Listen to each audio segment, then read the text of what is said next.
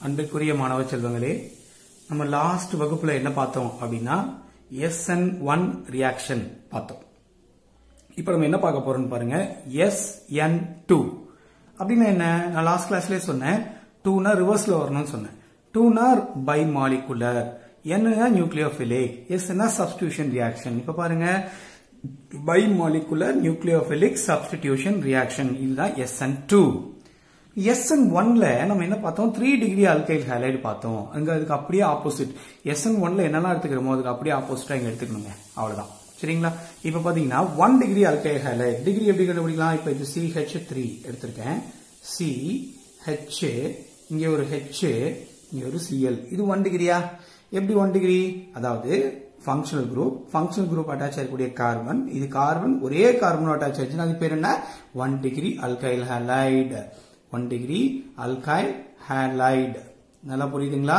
இப்ப பாருங்க first step satisfied ரெண்டாவது பாத்தீங்கன்னா எஸ்என் ஒன் எத்தனை ஸ்டெப்ல நடந்துச்சு? நமக்கு தெரியுமானதுல ரெண்டு ஸ்டெப்ல நடந்துச்சு. ஒன்று ஃபர்ஸ்ட் ஸ்டெப்ல என்ன நடந்துச்சு? கார்போகேட்டியன் ஃபார்ம் ஆச்சு. ரெண்டாவது ஸ்டெப்ல ப்ராடக்ட் ஃபார்ம் ஆச்சு. இப்ப இங்க பாத்தீங்கன்னா ஒரே ஒரு ஸ்டெப் தான். எப்படின்னு பாருங்க. அடுத்தது மூணாவது என்ன கொடுத்துருக்கோம் பாருங்க. ஸ்ட்ராங் நியூக்ளியோஃபைல் இஸ் ரெக்கையர்டு இதுல எஸ்என் டூல எஸ்என் ஒன்ல என்ன தேவையில்லை? நியூக்ளியோஃபைலுடைய ஸ்ட்ரென்த் இம்பார்ட்டன்ட் கிடையாது அப்படின்னு சொல்லியிருக்கோம். ஏன்னா அங்க என்ன யூஸ் பண்ணிருக்கோம் புரோட்டிக் சால்வெண்ட் யூஸ் பண்ணிருக்கோம் இங்க பாருங்க மாணவர்களே aprotic solvent aprotic solvent இப்ப யூஸ் பண்ண போறோம். Aprotic solvent protic solvent என்ன மாணவர்களே?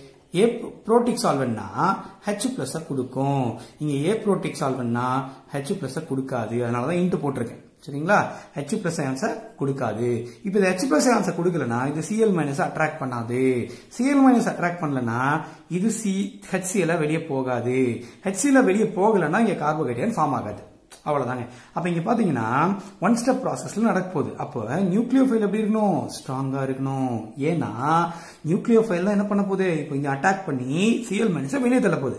ஆனால் இதுக்கு முன்னாடி எஸ்என் ஒன்ல என்ன பார்த்தோம் அப்படின்னா ஹெச் பிளஸ் சிஎல் மைனஸ் இழுத்துரும். அதுக்கப்புறம் நடக்கும் கார்போகேட்டையன் ஃபார்ம் ஆகும். ஃபார்ம் ஆன கார்போகேட்டையனோட ஓஹெச் மைனஸ் வந்து அட்ராக்ட் ஆகி ப்ராடக்டை ஃபார்ம் பண்ணும். பட் இங்கே பார்த்தீங்கன்னா ஒரே ஸ்டெப்பில் நடக்க போகுது. எப்படின்னு பார்க்கலாமா? இப்போ பாருங்க. ஓஹெச் மைனஸ் இது ஸ்ட்ராங் நியூக்ளியர் ஃபைல் அப்படின்னு சொல்லியிருக்கோம். சரிங்களா? இப்போ இது வந்து எப்படி அட்டாக் பண்ணும் அப்படின்னா பேக் சைடில் தான் அட்டாக் பண்ணும். ஏன் பேக் சைடில் அட்டாக் பண்ணுது? அப்படிங்கிறத பின்னாடி நான் சொல்கிறேன் இப்போ பார்த்தீங்கன்னா ஓஹெச் மைனஸ் ஈஸியாக அட்டாக் பண்ணலாம். ஆனா எஸ்என் ஒன்ல அட்டாக் பண்ண முடியாது. ஏன் அட்டாக் பண்ண முடியாது? அப்படின்னு பாத்தீங்கன்னா இங்க பல்கியர் குரூப் இருப்பாங்க சுத்தி மூணு சைட்லயும் ஆனா எஸ்என் டூல பாத்தீங்கன்னா இந்த பக்கம் ஹைட்ரஜன் இந்த பக்கம் ஹைட்ரஜன் ரெண்டுமே சின்ன சின்ன ஆட்டம்ஸ் அப்ப என்ன பண்ண முடியாது? ஈஸியா அலோவ் பண்ணும். அப்போ ஓஹெச் மைனஸ் ஈஸியா வந்து பேக் சைட்ல அட்டாக் பண்ணும். ஏன் பேக் சைட்ல அட்டாக் பண்ணும்? ஃப்ரண்ட் சைட்ல இது மைனஸ் இதுவும் மைனஸ் அப்ப ரிப்பல்ஷன் இருக்க சான்ஸ் இருக்கு. அப்ப என்ன நடக்கும்? ஓஹெச் மைனஸ் பேக் சைட்ல வந்து அட்டாக் பண்ணி இந்த சிஎல் மைனஸ் வெளியே அனுப்பிச்சிரும் சொல்ல புரியுதுங்களா? இது ரெண்டும் அட்டாச் ஆகுறதும் க்ளீவ் ஒரே ஸ்டெப்பில் நடக்கும். எப்படின்னு பார்ப்போமா? பாருங்க. இங்கே சிஹெச் த்ரீ போட்டிருக்கேன். இங்கே சி இருக்கு இங்கே ஹெச் இருக்கு இங்கேயும் ஹெச் இருக்கு. இங்கே சிஎல் மைனஸ் வெளியே போகுதுங்களா இங்கே ஓஹெச் என்னது? அட்டாக் பண்ணுது. இது ரெண்டும் ஒரே ஸ்டெப்ல நடக்கும். புரியுதுங்களா? இப்போ OH மைனஸ் இங்கே attach ஆகிறதும் Cl minus C Cl bond cleave ஆகிறதும் ஒரே ஸ்டெப்பில் நடக்கும். இப்போ எனக்கு ப்ராடக்ட் எப்படி கிடைக்கும் பார்க்கலாங்களா? எப்படி ப்ராடக்ட் கிடைக்கும்? ஓஹெச்ஏ சி இங்கே ஒரு ஹெச்ஏ இங்கே ஒரு ஹெச்ஏ இங்கே சிஹெச் த்ரீ சரியா புரியுதுங்களா? இப்போ இந்த காம்பவுண்டுக்கு பேர் சொல்ல தெரியும் இல்லையா? எப்படி காம்பவுண்ட் பேர் சொல்லலாம்? ஃபங்க்ஷனல் குரூப் ஃபங்க்ஷனல் ஒன்னு இது டூ அப்ப என்ன சொல்லலாம்? Two chloro sorry one chloro ethane. இல்லைங்களா? ஒன் குளோரோ ஈத்தேன் அப்படின்னு சொல்லலாம். இது காம்பவுண்ட் பேர் என்ன சொல்லலாம்? Ethanol. Alcohol ethane alcohol ethane all ethanol அப்படின்னு சொல்லலாம். அதுல ஒன் எத்தனால் அப்படின்னு சொல்லலாம். தப்பு கிடையாதுங்க.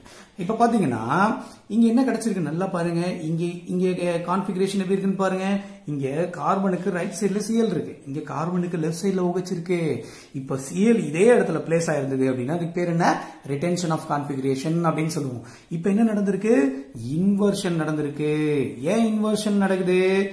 சோ இந்த நியூக்ளியோஃபைல் இருக்கு இல்லையா இது எங்க அட்டாக் பண்ணிருக்கு அப்புறம் இந்த back side it one attacks back side attack பண்ணனால சிஎல் மைனஸ் வெளியே போயிடுச்சு. இந்த இடத்துல அட்டாச் ஆயிடுச்சு. இங்க சிஹெச் த்ரீ ஷிஃப்ட் ஆயிடுச்சு. அப்ப பாருங்க இன்வர்ஷன் ஆஃப் கான்ஃபிகரேஷன் நடந்திருக்கு. அடுத்து பாத்தீங்கன்னா rate of reaction depends on both the substrate well as nucleophile ஏன்னா இது வெளியே போறதும் ஓஹெச் மைனஸ் அட்டாச் ஆகிறதும் ஒரே ஸ்டெப்ல நடக்குது. இப்ப நல்லா பாருங்க. அப்ப இது எவ்வளவு ஸ்ட்ராங்கா இருக்கோ அந்த அளவுக்கு இது ஈஸியா வெளியே போகும்.